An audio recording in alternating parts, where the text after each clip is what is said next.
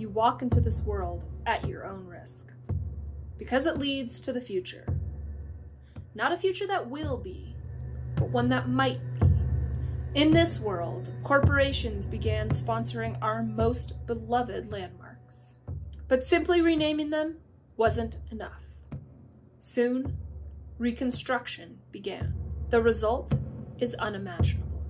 We begin by featuring one of England's most precious landmarks. Watch as a luxury watchmaker recreates the famous clock tower known as Big Ben. Offensive? Egregious? Perhaps. But it sure will be beautiful. A perfect device for measuring time here on Bizarro Brands.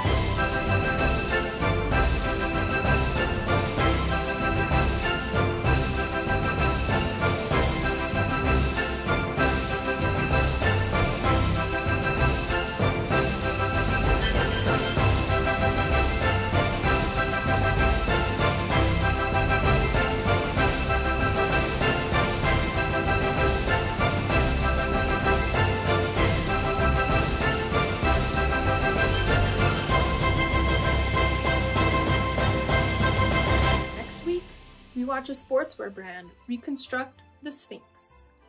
What will it look like?